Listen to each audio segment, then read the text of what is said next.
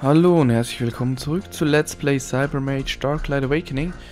Ja, ich bin nochmal durch die ganzen Büroräume gegangen, nach der Suche von Cats Report 6. Und ich habe es tatsächlich gefunden. Ähm, der Zugang hier war schon offen. Das heißt, wir haben den wahrscheinlich schon irgendwie mal freigelegt. Und ja, hier ist es. Nehme ich an, jawohl ist Nummer 6. Das heißt, am Ende dieser Episode werden wir auf jeden Fall da zurückgehen und uns alle Kassetten anhören. Zumindest wenn wir dann wieder zurückkommen. Ja, und jetzt schaue ich mal, ob wir, wo wir weiter können. Denn unten beim letzten Mal, da brauchen wir diesen Netzhautscanner.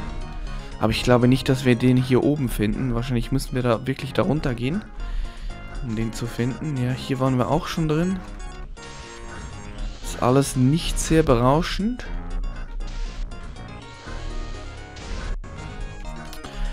Das heißt, wir gehen da jetzt einfach nochmal runter und hoffen, dass wir dann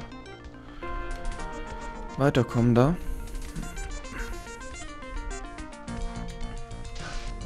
Wow. Ich bin mal in einen Lift reingekommen, ohne dass er mir vor der Nase zugeht. Das ist ja mal erfreulich. So, hier war das. Dann mussten wir, glaube ich, hier hinten lang. Nachdem wir mit diesem Fahrstuhl runtergegangen sind. Nachdem wir den zuerst mal überhaupt freigeschaltet haben. Also den Zugang dazu zumindest.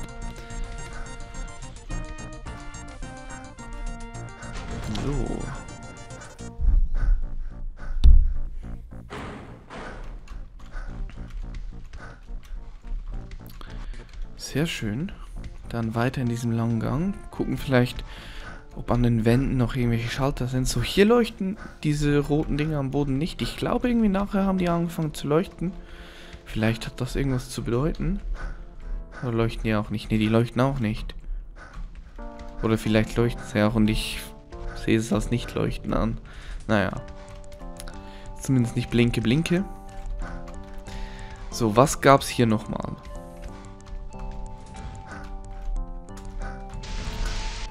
Hier ist ein Kraftfeld mit der Notbewaffnung, wo ich immer noch nicht rausgefunden habe, wie man es öffnet. Vielleicht einfach mal draufhauen?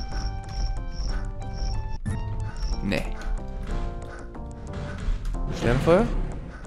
Nee. Kann ich den von hier aus töten? Nein.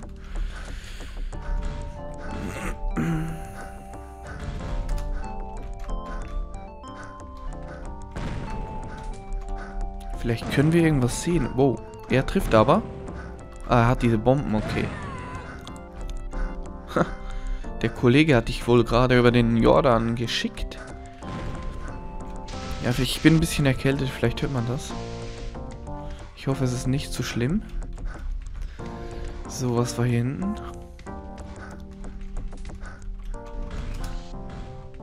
Hier ging es nach oben.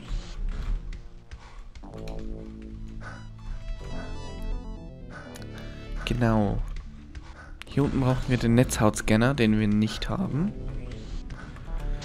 Und da waren auch diese Hunde, genau. Ist vielleicht hier irgendwo ein Schalter?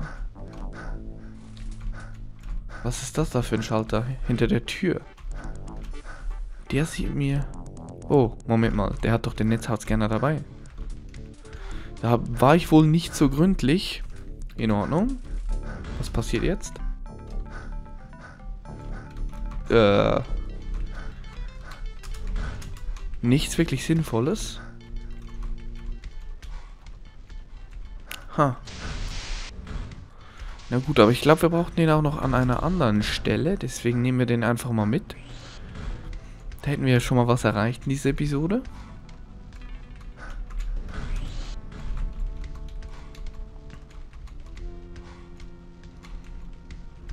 So. Gehen wir hier lang? Ne, Moment. Das war nur der Geheimzugang. Ich glaube hier hinten, genau. Und ich wette, jetzt kommen wir da auf der anderen Seite wieder raus, wo wir die Be Notbewaffnung gesehen haben. Oh.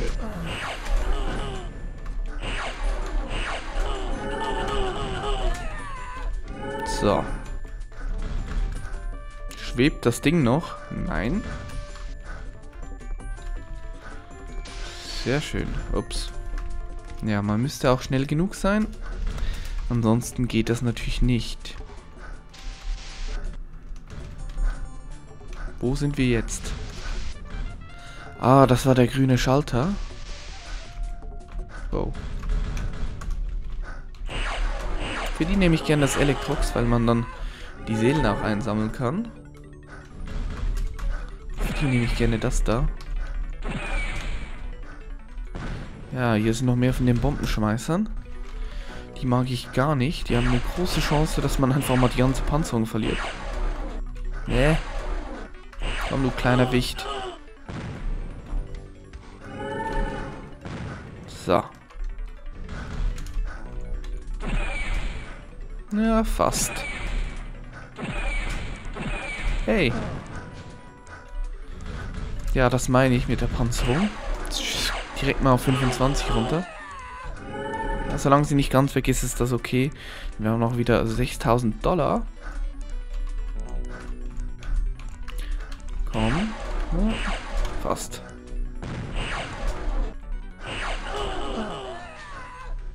Wow. Das ist irgendwie vor allem die Brustpanzerung, der da drunter leidet. Die anderen Panzerungsteile scheinen davon nicht allzu stark beeinträchtigt zu sein. Es wäre natürlich ärgerlich, wenn wir extra dafür eine Panzerung Plus verwenden müssten. So, hier ist eine Weltkarte. Interlink. Sind das vielleicht irgendwelche Anschläge, die geplant sind? Das wäre möglich. So, hier ist ein Schalter der was gemacht hat? Hm. Hier geht der Fahrstuhl runter. Sehr schön. Wo sind wir? Ups, Roboter.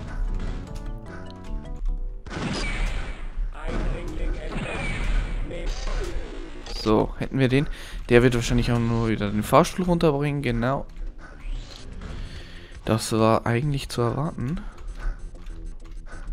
Hier geht's nach unten.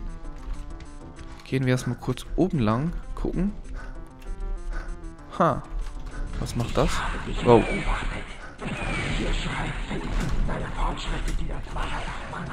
Hilfe.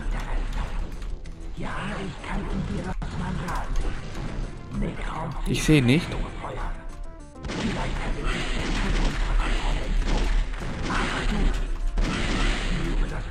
Hm, Bosskampf. Oh. Ich kann leider nicht verstehen, was er sagt. Es tut mir leid. Ich kann nur einfach drauf losschießen. Ich glaube, wir haben auch einen neuen Zauber erhalten. Autsch. Ich sollte vielleicht mal eine Medizin einnehmen. So, bist du? Da hinten bist du. Au. Hey.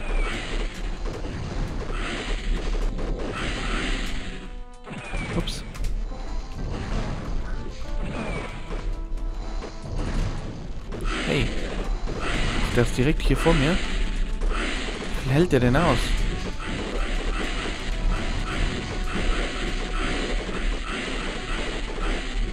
Wow. Raketenwerfer?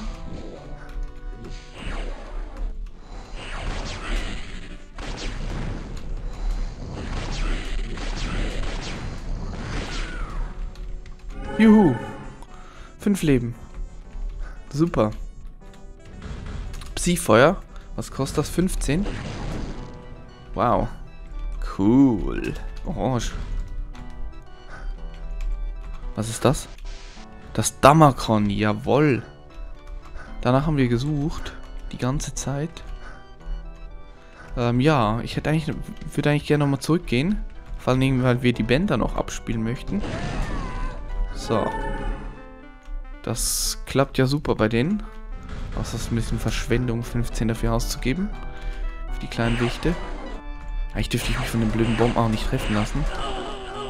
So einfach ist es eigentlich nicht, denen aus... Äh, so schwierig ist es eigentlich nicht, denen auszuweichen.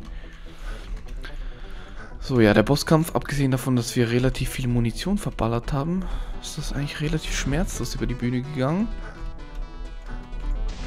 So.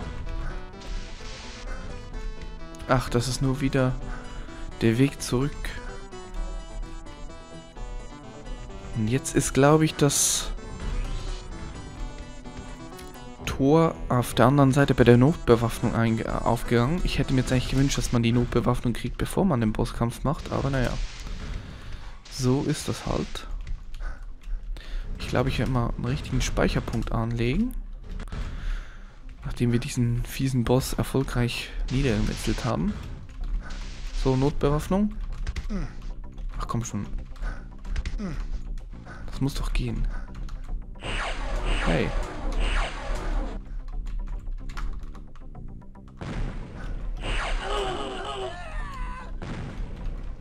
So, schnell die Seele einsammeln. Ich werde dann, glaube ich, nachdem wir die Bänder angehört haben, auch nochmal, wenn das geht, das Gespräch von Sri Feng war das, glaube ich, äh, nochmal anhören, damit wir das ja auch noch drauf haben, für die, die es sich anhören möchten.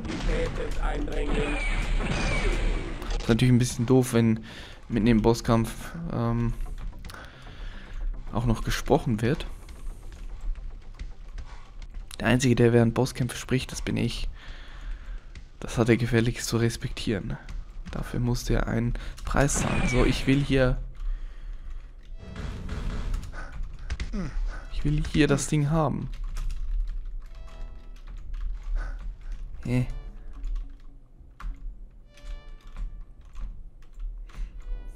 Das muss doch irgendwie aufgehen. Mist. Hier vielleicht irgendwie ein Geheimschalter? Hier vorne? Mal schön die Wände an den Wänden Ausschau halten nach Schaltern.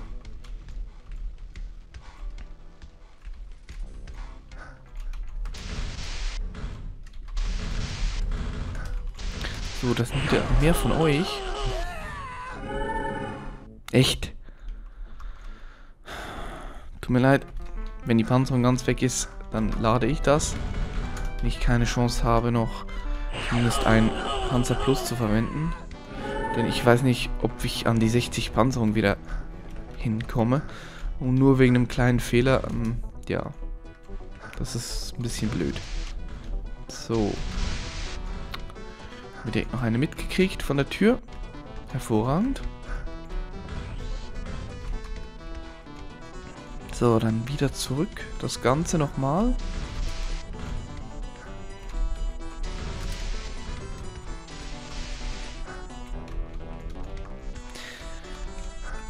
Wahrscheinlich muss ich auch den Speicherpunkt nochmal anlegen. Genau.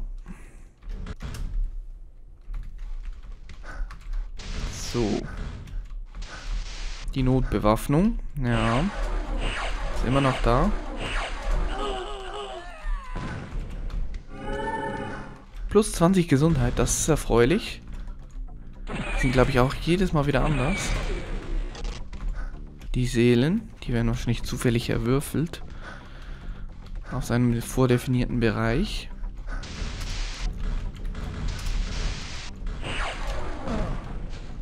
Ja. Das ist echt brutal mit den Bomben.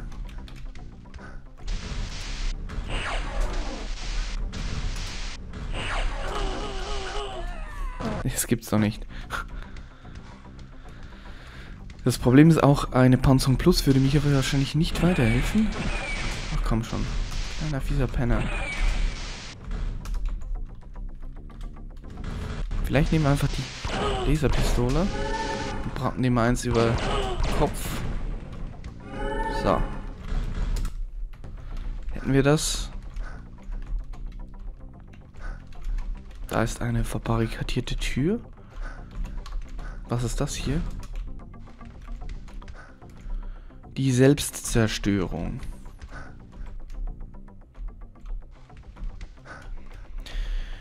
Hm. Ich glaube, nachher müssen wir rennen. So, ich mache jetzt was.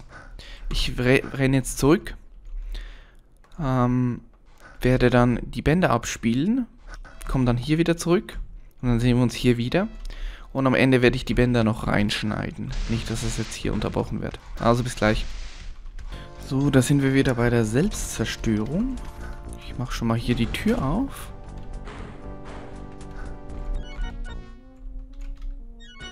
Das sieht auch wieder ein bisschen gefährlich aus. Hm. Ich überlege mir jetzt vielleicht zuerst mal hier... Da höre ich irgendwas. Licht? Vielleicht müssen wir zuerst die Selbstzerstörung betätigen. Ich mache mal einen richtigen Speicherpunkt. Für den Fall, dass irgendwas schief geht. Okay. Sieben Minuten. Augen zum durch.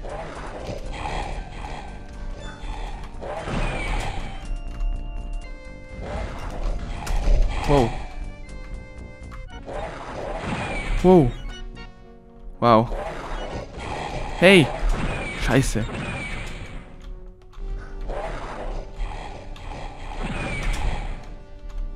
Hui. Psi-Feuer. Hilfe! Plus drei Leben. Schnell weg. Wahrscheinlich müssen wir die ganzen Türen hier aufmachen. Oh. Ja, ich wollte mich vorbeischleichen. Es ist hier dunkel.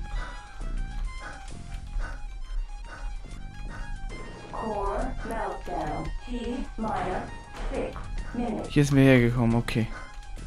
Da hinten ist ein Schalter. Oh, Licht. Oh. Tot. So, dann das Ganze nochmal. Diesmal werde ich aber, glaube ich, in aller Ruhe... Ah, okay, das sind die ganzen Türen noch nicht offen. Haben wir vielleicht irgendwas, was uns Licht gibt?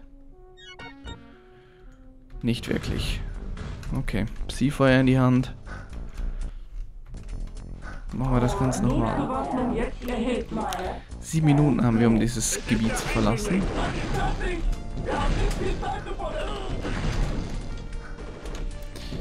Ja, die Panzerung.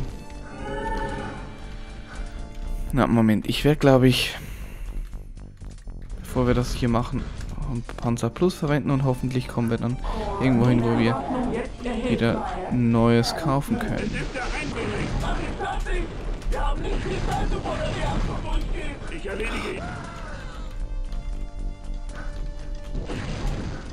Komm schon, du kleiner fieser Wicht. Okay, hier ist ein Schalter. Sehr gut. Dann war... Wahrscheinlich ist in jeder Ecke ein. Problem ist, die sieht man so nicht. Die sieht man wenigstens.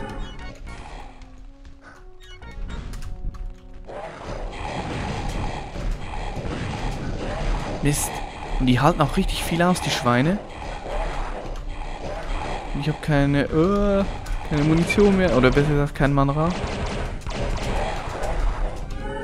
Und schnell sind sie auch.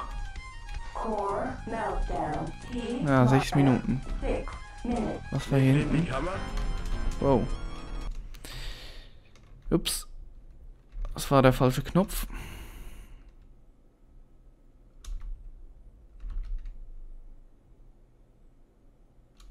Wir müssten gleich wieder zurück sein. Na gut, ich fix das mal kurz, bis gleich.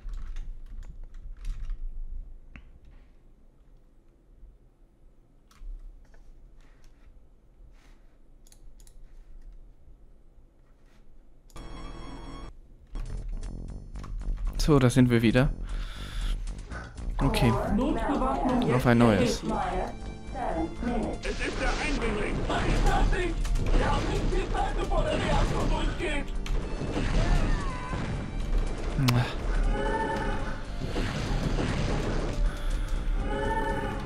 Das könnte eine Weile dauern.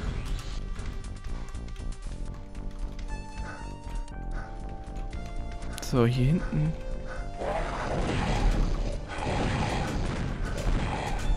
Wie viele Schüsse braucht man denn für den? Ist ja unglaublich.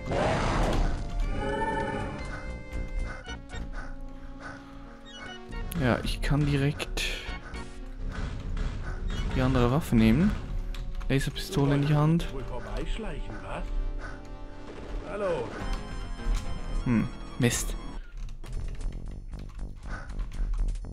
Vielleicht sollte ich von Anfang an irgendwie eine vernünftige Waffe nehmen. Könnten wir das Fusionsgewehr auf, ausprobieren. Es ist der Eindringling!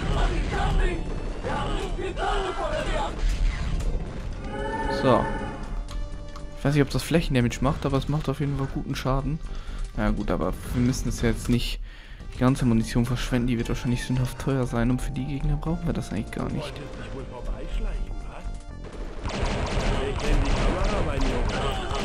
Komm schon. Boah, was halten die denn aus, bitteschön?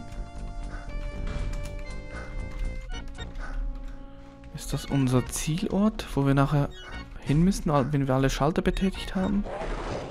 Weiß ich nicht.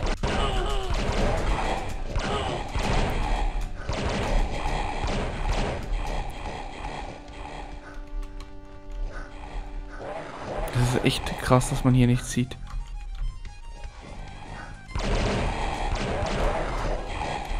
So, kommt hierher, wo ich euch sehen kann. Dankeschön.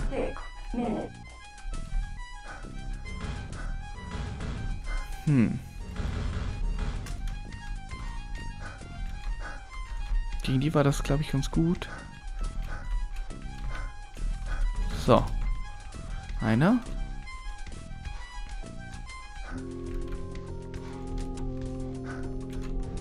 Zwei.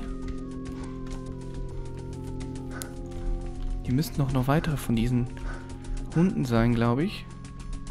Ist jetzt hier hinten offen?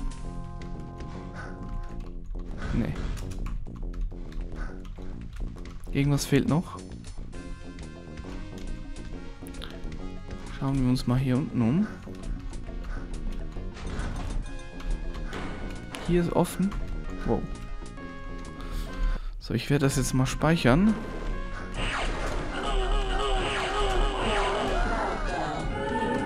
So, fünf Minuten haben wir. Das müsste eigentlich reichen. Wahrscheinlich gibt es da im Dunkeln nicht jede Menge Secrets. Oh. Mistvieh.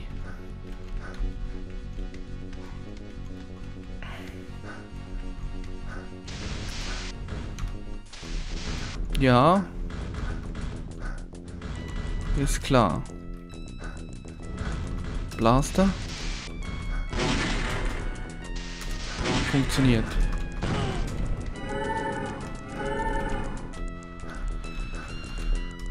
So, versteckte Schalter gibt es hier keine.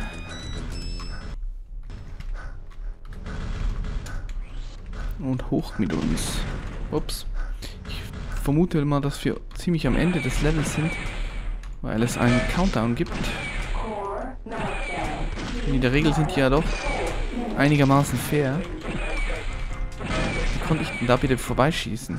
Das geht doch gar nicht. Jawohl. Gut. Verlassen wir diese Mission. In der Hitze der Nacht sind wir wieder. Und das ist schon mal kein Respawn. Das scheint... Das schaut soweit mal ganz gut aus. Okay. Gut, dann ähm, war es das jetzt für diese Episode. Wir sehen uns jetzt noch die Bänder an und sehen uns dann hoffentlich beim nächsten Mal wieder. Und ja, viel Spaß mit den Bändern. So, und zum Schluss, wie gesagt, noch die Bänder. Zuerst hören wir uns mal noch das Gespräch mit Trifängern oder was er uns da an den Kopf geschmissen hat. Viel Spaß damit. Ich habe dich beobachtet. Wir Schreibfälle finden deine Fortschritte, die das Maratach-Mann betreffen, interessant. Ja, ich kann in dir das Manra sehen. Neckraum fehlt dieses junge Feuer. Vielleicht hat er sich deshalb unserer Kontrolle entzogen. Aber du, ich spüre, dass du wegen des Dammmachagan gekommen bist. Es ist nicht für dich bestimmt. Du darfst nicht weiter.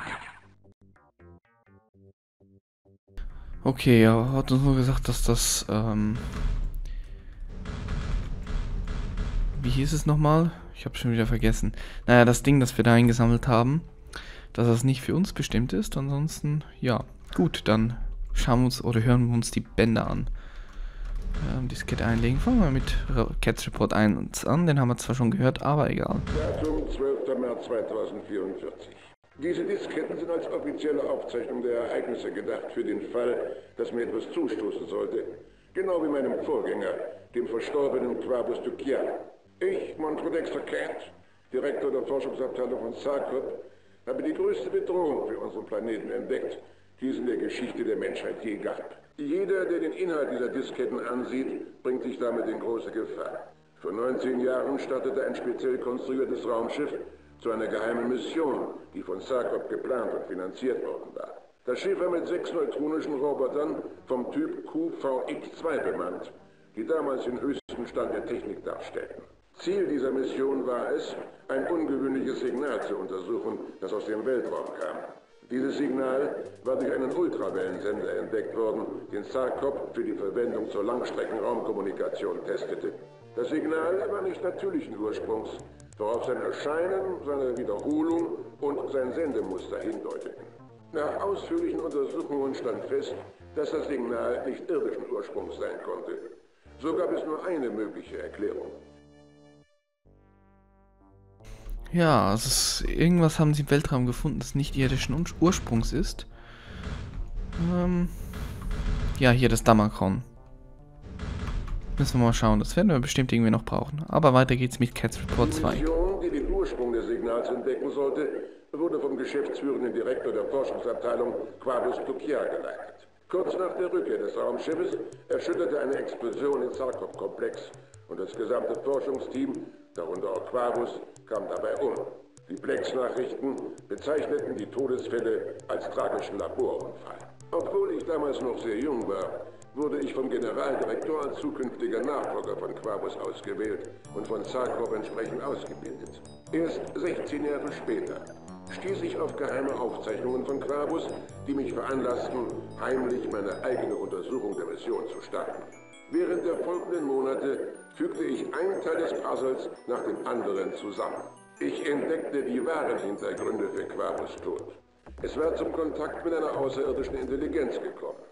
Nur Sarkop wusste etwas über diese Kontaktaufnahme. Der Generaldirektor von Sarkop wollte dies geheim halten. Aber Quabus plante die Entdeckung einer außerirdischen Zivilisation an die Öffentlichkeit zu bringen. Sarkop brachte ihn zum Schweigen. Der Generaldirektor opferte Quabus, um dadurch die einzige Kontaktperson mit den Außerirdischen zu werden. Der Botschafter der gesamten Welt sozusagen. Damals ahnte aber noch nicht einmal der Generaldirektor, was die Außerirdischen vorhatten. Ja, Außerirdische, interessant. Das trifft ja jetzt richtig stark in Sci-Fi ab.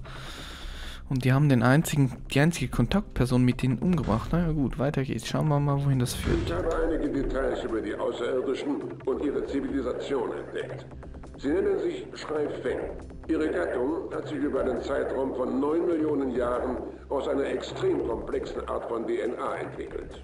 Sie sind hochintelligent wie das auch von einer Gattung zu erwarten ist, die aus so komplexen genetischen Strukturen entstand. Ihre DNA hat mit gewissen irdischen Lebensformen einige einfache Sequenzcodes gemeinsam. Es gibt allerdings einen bemerkenswerten DNA-Sequenzcode, der irdischen Lebensformen völlig fremd ist.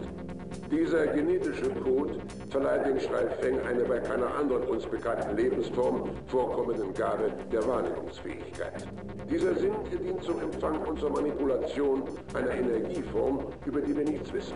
Es ist eine unabhängige psychokinetische Energie, die von Menschen nicht wahrgenommen wird. In unserer Sprache gibt es kein Wort für diese Energieform und die von den Schreifeng gegebenen Beschreibungen sind vage und benutzen zwei miteinander verwandte, aber widersprüchliche Begriffe. Um sie einfacher klassifizieren zu können, werde ich diese Energie das Schattenlichtphänomen nennen. Ja, das Schattenlichtphänomen, das hat ja irgendwie die Erdmutter, glaube ich, schon damals erwähnt. So vier? Behaupten, dass die Schattenlichtenergie alles im gesamten Kosmos durchdringt. Sie definieren Leben als jede Form von Materie, die diese Energieform aufnehmen kann. Sie sagten uns, dass auch wir diese Schattenlichtenergie aufnehmen und umformen könnten. Dass uns aber die notwendigen Körperorgane fehlen, um sie direkt wahrzunehmen. Obwohl es kein spezifisches Organ in ihren Körpern gibt, um das Schattenlicht wahrzunehmen und zu manipulieren, weisen ihre Gehirne und Nervensysteme doch unerklärbare Unterschiede zu den unseren auf. Sie können das Schattenlicht sehen, so wie wir sehen, indem wir mit unseren Augen Photonen wahrnehmen, die unsere Gehirne als Bilder interpretieren. Und sie können sprechen, so wie wir mit unseren Stimmbändern sprechen, indem wir Tonwellen erzeugen, die die Rezeptoren in unseren Ohren als Geräusch interpretieren, also hören. Diese Beschreibungen sind nur als Metaphern gedacht, da die Schreifeng nicht im engeren Sinne sehen oder sprechen. Es handelt sich vielmehr um eine ganz andere Art der Sinneswahrnehmung oder Kommunikation. Da wir diesen Sinn nicht besitzen, werden wir hinsichtlich der Existenz dieser mysteriösen Energie wohl immer im Dunkeln tappen. Es wäre, als ob wir versuchten, die Farbe Schwarz in absoluter Dunkelheit zu erkennen.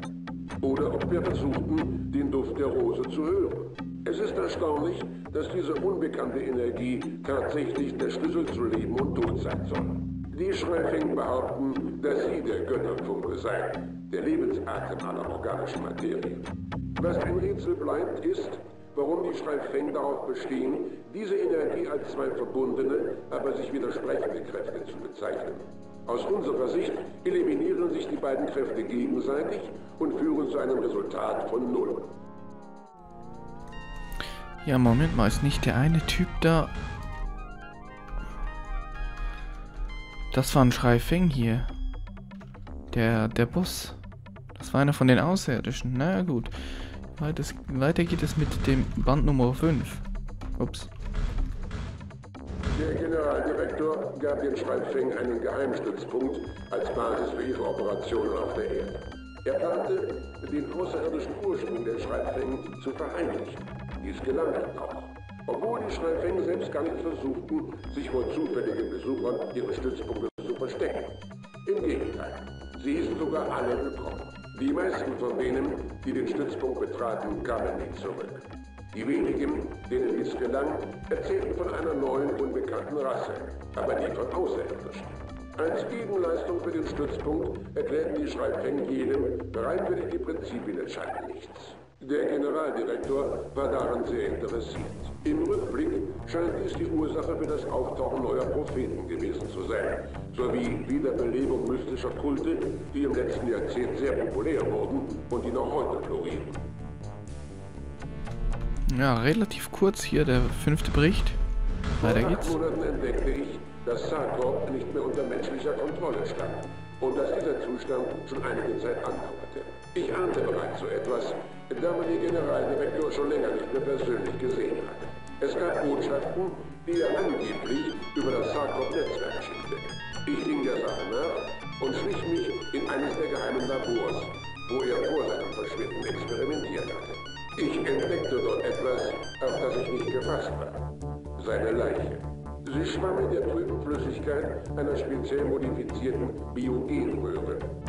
Die Datenanzeige war eindeutig. Er war tot. Ob er das Opfer eines Anschlags geworden war oder ob er an sich selbst Experimente durchgeführt hatte, die seinen Tod bewirkt hatten, war nicht weiter wichtig. Eines stand fest. Jemand anderer hatte seit seinem Ableben die Firma geleitet. Ich hörte vor der Labortür ein Zischen und wusste, dass jemand kam. Ich schlich aus dem Raum, bevor mich jemand entdecken konnte. Ich sah gerade noch, wie mehrere Schreifhängen das Labor betraten. Ich war entsetzt darüber, dass es dem Generaldirektor gelungen war, ihre Anwesenheit in diesem Gebäude zu verbergen. Und ich fragte mich, wie lange sie schon hier war. Vielleicht seit dem Tod von Quarkus. Kurz darauf wagte ich mich erneut in das Labor, das dem Generaldirektor zum Grab geworden war. Aber seine Leiche und alle Hinweise auf seine Experimente waren verschwunden. Vielleicht war mein erster Ausflug ins Labor entdeckt worden. Ich beschloss, so viel wie möglich herauszufinden. Ich verschwieg meine Entdeckung und führte meine geheimen Untersuchungen fort. Ich war mir nicht sicher, wo das alles hinführen würde. Jetzt bin ich meiner Sache völlig sicher. Hm, wird ja immer besser. Bin mir jetzt gar nicht sicher, ob wir die sieben schon angehört haben. Muss ich kurz nochmal nachschauen. Ne, die sieben haben wir uns noch nicht angehört. Gut. Ich habe ihn gesehen. Der wieder. Ein grauenhaftes Ergebnis seiner Experimente. Mithilfe der unbegreiflichen Macht des Schattenlichts ist er vor den Toten auferstanden. Er ist Necro. Einst war er ein Mensch, doch jetzt ist er ein lebender Kadaver ohne Seele. Ich verstehe jetzt allmählich den Zusammenhang. Hinter allem stecken die Schreibfänge. Hätten sie die Erde direkt angegriffen, hätten sich alle Staaten gegen sie verbündet. Deshalb schufen sie einen Feind, Necron, einen von uns, der uns von ihnen her angreifen konnte. In der Zwischenzeit infiltrieren uns die Schreibfängen, die wahren Invasoren weiterhin und führen ihren Geheimkrieg. Die Schreibfängen sind sterblich.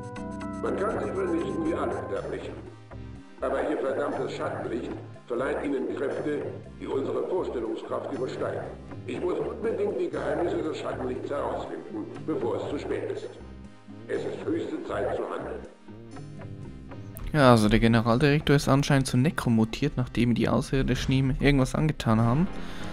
Naja, wo endet das? Für einige vertrauenswürdiger Mitarbeiter gelang es mir, die Schutzeinrichtungen um die Schreibfäng-Matrix herum, die im Inneren des Sarkov-Netzwerks zu durchdringen. Wir hoffen, in der Matrix die Aufzeichnungen und Protokolle über die vom Generaldirektor durchgeführten Schattenlichtexperimente zu finden. Ich habe unserer Mission den Codenamen Black Sun gegeben. Der Generaldirektor bzw. Necron ist ein Beweis dafür, dass Menschen das Schattenlicht in einem gewissen Umfang wahrnehmen und kontrollieren können.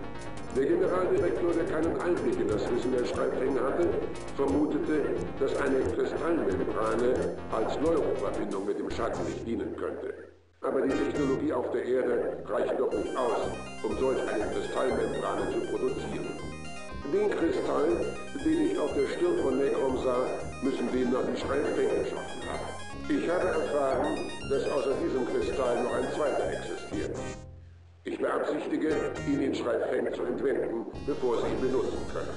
Wenn mir dies gelingt, werden wir versuchen, die Experimente des Generaldirektors zu wiederholen und den Schattenlichtkristall einer Testperson einzupflanzen. Scheitert unsere Mission, dann mögen die Götter uns gnädig sein. Ja, und diesen Kristall haben wahrscheinlich wir drin. Wir sind die Testperson. Nehme ich mal an. So, das war's mit dieser Episode. Ich hoffe, ihr seid beim nächsten Mal wieder dabei. Bis dann, euer Nordgate.